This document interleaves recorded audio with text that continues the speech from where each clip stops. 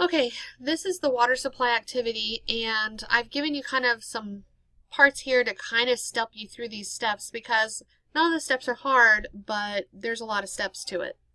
So here's our problem. Take a minute to read this. Pause the video. Okay, so the first thing we need to do is find the static head.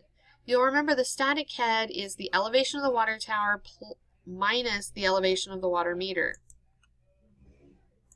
So that's just the water level here minus that. Calculate that.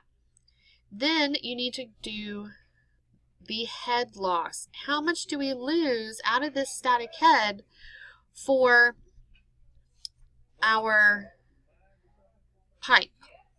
So first we're going to calculate the amount of pipe we have. So we're going to take the length of the pipe, which is this mark right there, put it in here, change it over to feet right there. Then we need to calculate each one of these because we lose extra length when we have an elbow or one of these other parts. If I have a 90 degree elbow and I have an 8 inch ductile pipe, I need to look it up on my table. Here's the table I gave you, and I'm looking for an 8 inch pipe Here's the 8 inch pipe and a 90 degree elbow is right here. What that means is one elbow is the same as 12 foot of pipe. So I'm going to put 12 foot of pipe here, two elbows here from right there, two elbows. 2 times 12 would be 24 and I put that number right here. Do the same for the rest of these and add these up.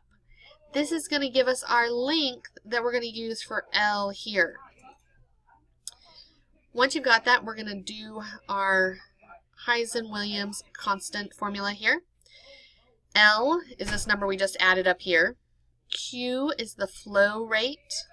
That's right here, flow rate, right there.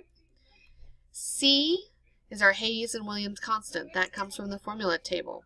If I look up here, I need to look up the kind of pipe we're dealing with. What kind of pipe do we have?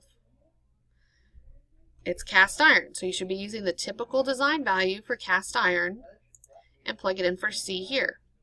Then your diameter here is your diameter in inches. So you're going to look it up from right there.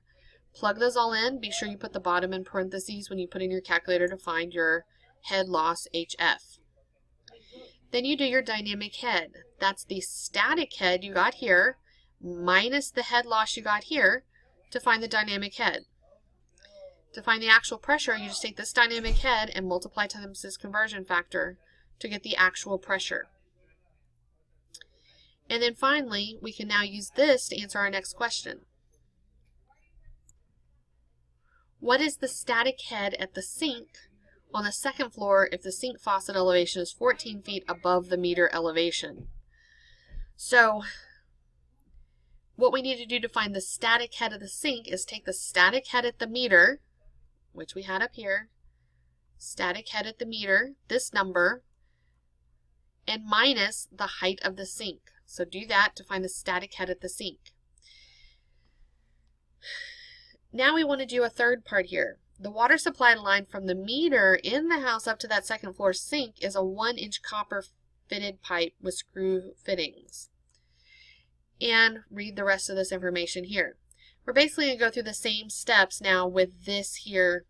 So when we look at our table, we're now looking at copper, and we're looking at screwed fittings and what size of pipe was it? One inch copper pipe. So we're looking here at screwed fittings, one inch copper pipe. So you're going to get your information from here to fill these in, just like you did before.